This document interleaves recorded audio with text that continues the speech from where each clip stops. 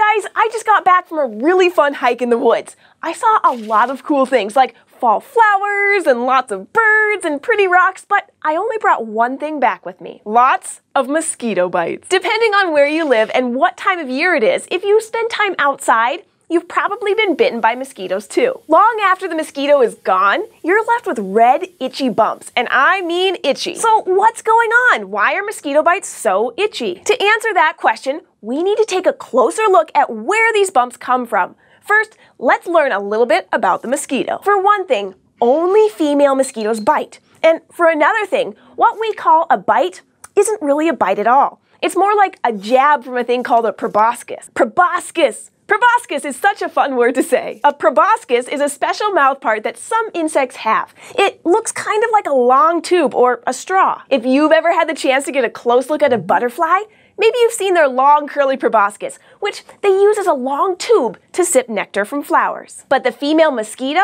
she uses her proboscis to take a tiny sip of blood from the blood vessels right beneath your skin. Her body makes special chemicals to help her do the job.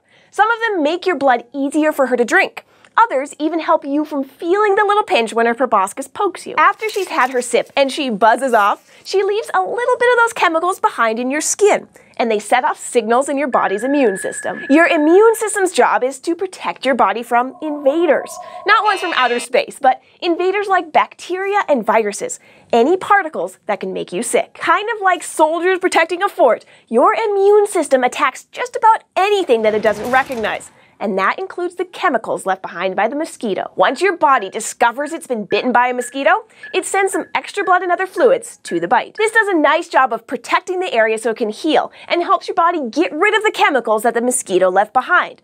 But it also makes the area around the bite swell up, causing a bump. And that swelling sets off nerves in your skin around the bump. Nerves carry messages between parts of your body. So when you feel the tingly itch of a mosquito bite, that's the work of your nerves telling your brain. In case you haven't noticed, there's something going on down here. And even though it's really hard, you shouldn't scratch those bumps. It's not good for your skin and it actually makes everything worse. Scratching irritates your skin even more. And when that happens, your body's immune system tries even harder to stop whatever's bothering it. So that makes the bump even itchier. Experts say that using ice or a paste made from baking soda and water on a mosquito bite can actually help with the swelling and the itch. So remember, stop scratching whatever it takes. Thanks for joining us on SciShow Kids. Do you have a question about bugs, birds, dinosaurs, or anything else?